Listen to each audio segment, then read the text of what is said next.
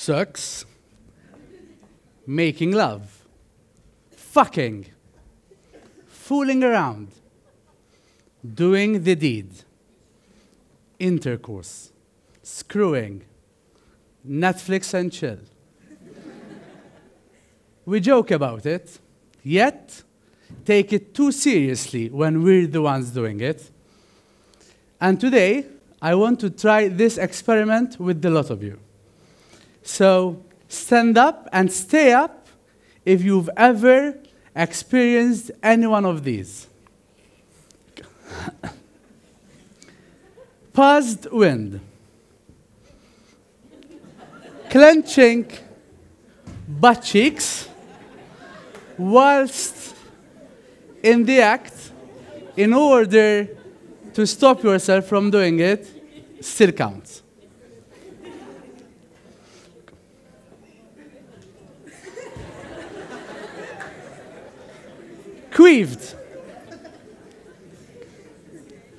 Also known as vagina farts. When the air that's trapped in your vagina decides to come out all at the same time, making the most awkward noises at the worst time possible. That's when she says, That wasn't a fart. Fell dramatically whilst trying a different position. Stand up and stay up if you ever had problems putting it in. Or got cramps at the worst time ever. Stand up and stay up if you ever tried to ignore the need to pee because it was such an intimate moment. Can we have some lights? Well, this is very interesting because most of the things I mentioned are things that every couple goes through whilst having any form of vaginal or anal sex. Yet, so many few people stood up. Some of them, I would say, are actual natural reactions to doing the deed. And this is exactly my point. Society keeps trying to glorify sex. It has to be mind blowing. Otherwise, we believe we're not compatible. And what's this thing of everything having to be mind blowing anyway? How was the food at the restaurant? Good, not mind blowing. How was your first date with Matthew? Good, but I wasn't blown away. How's the sex? Pretty good, but not mind blowing, if you know what I mean. Think of movies, TV shows that you've watched or currently showing, watching. Think of the sex scenes in those movies. You see exclusively young adults with athletic bodies, white, and heterosexual. And the further away you go from that ideal, the more gross it's portrayed as. Think, for example, of a movie scene where you have two fat people having sex. Is it a sexy scene or is it a comical scene? How many sex scenes have you seen with older people getting it on? And people with physical disabilities.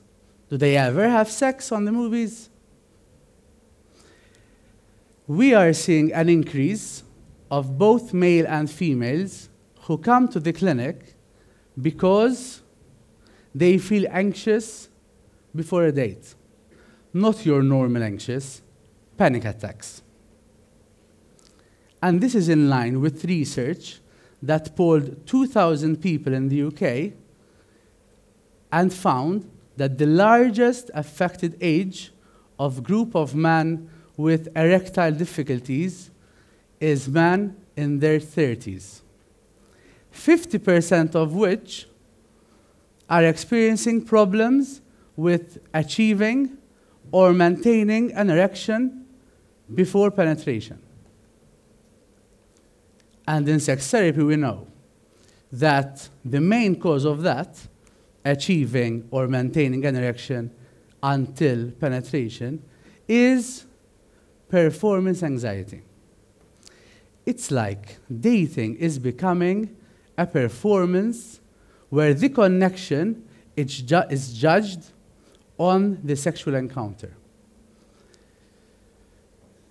Research is telling us that 15 year old females feel the need to give oral pleasure during their first encounter, otherwise, they believe that their male counterparts will not be interested in what they have to say for the rest of that date.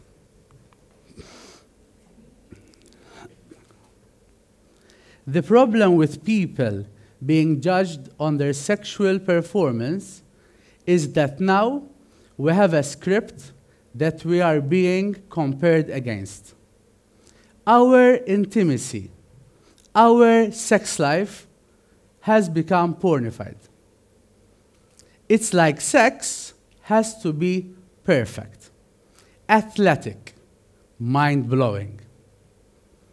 Our bodies must be sex ready, just like they need to be beach ready.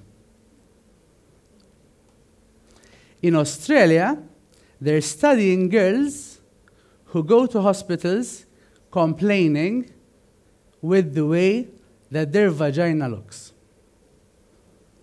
The average age of girls who go to hospital, girls, because of labiaplasty, because they're interested in labiaplasty, labia is the vaginal lips, is 14.5 years old. Girls as young as 11 years old are complaining about how their vagina looks. That's not even the saddest part of this research. 25% of these girls have been referred on to the hospital by their own mothers. Their mothers are concerned about how their daughters' vaginas look. People, come on. The queefs, the farts, the insecurities, the smells, the bodily malfunctions. This is what makes sex real. Let's talk about our quirks. Let's talk about sex more. Let's normalize something that we all do and go through. Quirks and weird things are considered such until we realized that we all do them, that we all go through them. And this reminds me of a couple I was seeing quite some years ago now lovely couple, very genuine individuals. And their presenting problem was that they felt that they were not satisfied in bed, that they were scared that they are not compatible. It took us a lot of sessions and we couldn't get to the bottom of it. So I said, let's, let me see you individually for one session. When I did that, I made this discovery. Individually, they were more comfortable talking about their fantasies, about their wishes in the bed. They had the same fantasies. And they were more comfortable talking to a stranger than their own partner of 15 years. And this is because they felt that they would be judged by their own partner.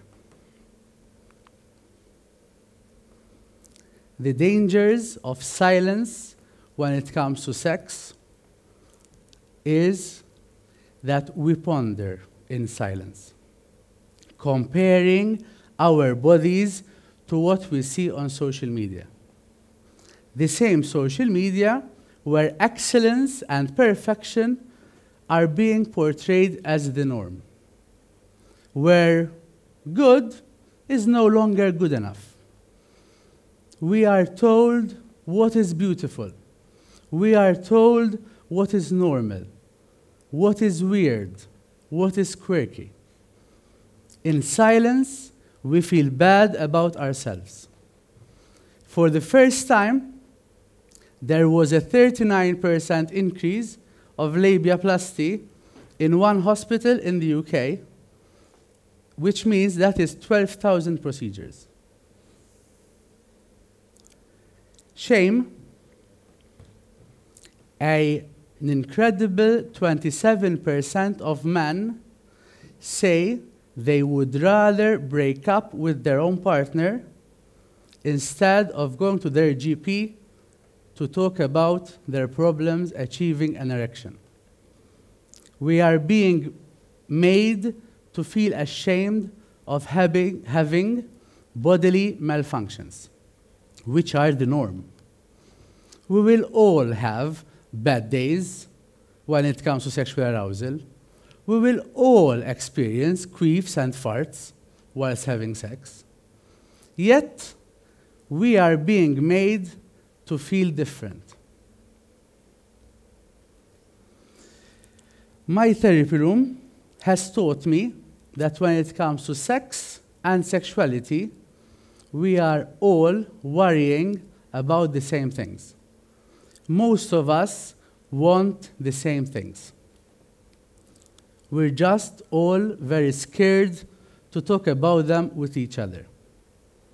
And this is what makes us feel weird and quirky. So, talk about your quirks. Worst thing that can happen is that the repressed people in the room will judge you for it. But you know what? Chances are that the same repressed people were judging you before anyway. On the other hand, the best thing that can happen out of this is that you feel accepted. You might feel loved for who you are. Queefs, farts, and all. You might learn that you are enough. That it's okay not to be perfect.